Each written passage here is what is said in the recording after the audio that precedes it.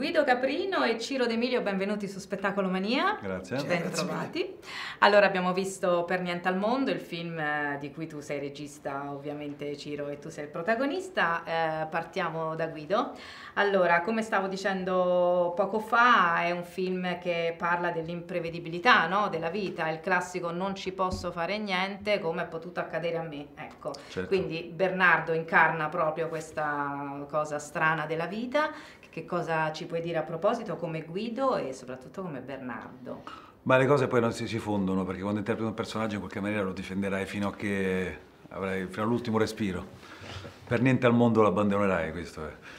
Ehm, come Guido penso che in questo caso, vedendo bene l'ascesa e la caduta eh, verso questo, questo burrone infinito, eh, sia facile da comprendere in qualche maniera questo personaggio. E come Guido e come Bernardo non lo augurerei a nessuno. Questo, questo, questo, mh, la- la- questa causa scatenante, cioè questo atto di ingiustizia. Sulle conseguenze lascio il pubblico giudicare e fare, fare eh, le proprie considerazioni, questo è anche il- l'onestà del cinema, non prendere una posizione piuttosto che un'altra. Come interprete lo, lo difenderò per sempre e non avrei potuto, potuto interpretarlo se con un minimo giudizio. Mi sono dovuto innamorare anche della sofferenza di, di- di- questo personaggio. E la domanda era esattamente... Ma era un po' questo, Era un po' sì, questo? era un po' Beh, questo che hai detto e anche per esempio il fatto che quando si è vittime di un errore, probabilmente, questo lo chiedo a entrambi naturalmente, probabilmente ci si sente quasi giustificati a continuare a sbagliare, no?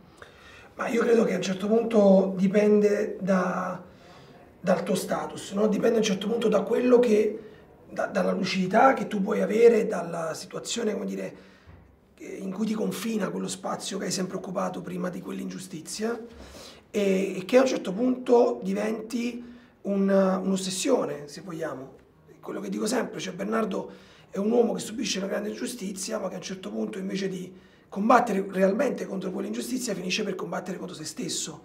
E questa logline è proprio il- è quello che succede a Bernardo e quello che accadrà a Bernardo in questa storia. Guido, sei d'accordo su questo? Nel senso, io mi hanno fatto questo e quindi io per Mm. salvarmi l'anima, no? A un certo punto Bernardo dice mi hanno tolto l'anima, io me la riprendo, quindi puoi fare qualsiasi cosa, a quel punto sei giustificato a fare tutto. Ma non credo che ci sia lucidità nel fare questo. Cioè, eh, il film parla proprio di un, di un uomo che è in totale controllo di se stesso e che man mano si sgretola questo controllo, questa, questa fortezza che si è creato sociale e personale e diviene un, un po' vittima degli, anche se non è una parola forse sbagliata, ma degli eventi, nel senso che è più grande di lui. Il, il tentativo di tornare eh, finisce, eh, finisce come finisce, non sappiamo come finisce. Certo. Si E- perde ulteriormente, diciamo, insomma, in Si questo- perde definitivamente. Definitivamente, sì. Ciro, tu hai giocato molto con il tempo in questo film, no? Ci sono vari livelli. A cosa, mh, a cosa è servita questa cosa? A far capire meglio al pubblico ciò che accadeva oppure a, non so, magari a farlo identificare di più? A parte che era una scelta già presa in sceneggiatura, quindi la sceneggiatura già era scritta in tre linee temporali e il tentativo era quello di far abbandonare allo spettatore ogni atteggiamento, eh, diciamo, voyeurista, quasi pornografico che abbiamo oggi nel guardare le storie degli altri e eh, cercare di capire, come dire, con distacco quello che accade perché tanto è una cosa che non, non riguarda noi e, e- e ci preserva questo. Il tentativo era quello di portare lo spettatore all'interno di un viaggio che fosse più un viaggio nell'anima di Bernardo, più di capire dove sta andando, tu ti, ti poni a un certo punto il problema di come sta invece quel personaggio e sei al suo interno e il tentativo era quello appunto di empatizzare più che compatire il personaggio di Bernardo fino alle sue scelte più estreme in qualche modo. E, e questo a arrivare anche a dare allo spettatore, anzi a non dare allo spettatore la certezza del giudizio, che è esattamente quello che succede al coro dei personaggi attorno a Bernardo. Tu sei sicuro che quello che stai giudicando ha fatto o non fatto quello per, quello per il quale viene in questo momento condannato? E quindi questo era molto interessante perché era, come dire, linea narrativa e linea drammaturgica in qualche modo si, si andavano a, sovrapporre. A sovrapporre. Guido, in questo film si parla anche di amicizia, no? Perché Bernardo ha degli amici, degli amici Certo. molto amici, poi però dopo questi amici molto amici, insomma, si, si fanno un po' i fatti suoi, ecco. Sì, è un tema che mi sta che, che molto interessante e molto, abbastanza centrale nel film. perché parlando di amicizia si parla anche di, di società. La, la, la, l'amicizia è qualcosa che nasce, eh, come nella seconda parte, appunto, come da, da, uno stato di bisogno che spesso si ha in comune con qualcuno che si incontra, eh, è quella, è forse l'amicizia più pura, che però porta, porta poi ad altre cose forse meno, un po' più complicate, no?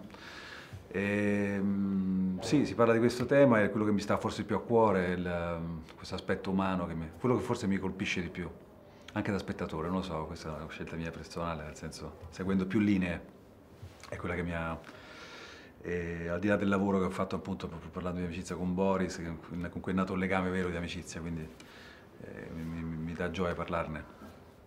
E, ehm, è un po' il t'hanno lasciato solo, diciamo, quando uno dice mi hanno lasciato solo, no? Quello che succede. Sì, però penso che l'intenzione del film sia quella di, di, porsi anche dalla parte di chi ti ha lasciato solo, no? Ok. Quindi, e questo ti dà modo di entrare e parlare appunto in maniera molto precisa di una società.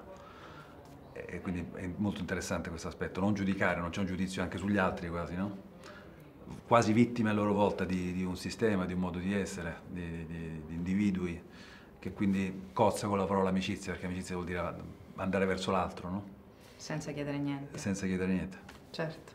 Un'ultima cosa, una curiosità, così chiudiamo in allegria. Allora, c'è un, una scena in cui Guido, Guido, danza con il suo amico appunto Boris Elia, ma questo Tarzan Boy di Baltimora, ma da dove l'hai ritirato fuori? Allora, questo... Che ci sta benissimo. Una scena che io adoro perché sono stato bene quando l'ho fatta, me la ricordo ancora, è una scena alla quale sono molto legato, eravamo eh, in una, una, una cava della diga della Valcellina e Tarzan Boy perché nel nostro dire, background Bernardo eh, doveva essere un amante di musica anni 80, di Italo Disco anni 80 e quindi insieme a Calamini che ha eh, qualche anno più di me diciamo, lo salutiamo, diciamo così, qualche anno più di me, lui ha, eh, mi aveva proposto tutta una serie di, di, di musicalità e Tarzan mi aveva fatto impazzire. Quindi Con quel coro ci sta benissimo.